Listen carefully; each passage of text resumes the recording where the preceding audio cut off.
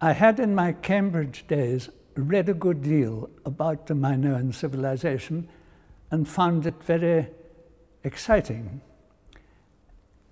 At a later date, when I was by that time on the staff at Stowe, I went on a Greek cruise and went to Knossos, and we were shown round the site by Sir Arthur Evans, which added to the thrill because he was, of course, an extremely distinguished archaeologist and had laid bare all that we were seeing. Because of my interest, I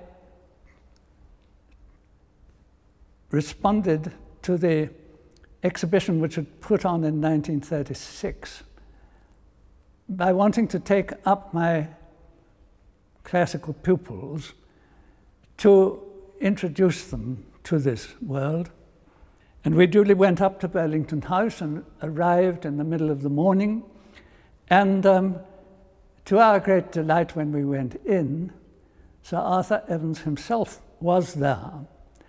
And he, seeing us, came over and began to take us round what was on view.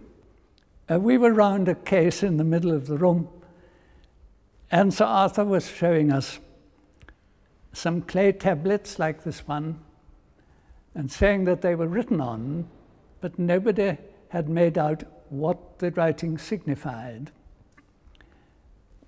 I was standing here, Sir Arthur was opposite.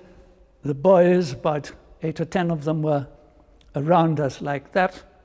And to my great surprise, during a pause in Sir Arthur's commentary, a quiet treble voice piped up and said, Did you say they'd never been deciphered, sir?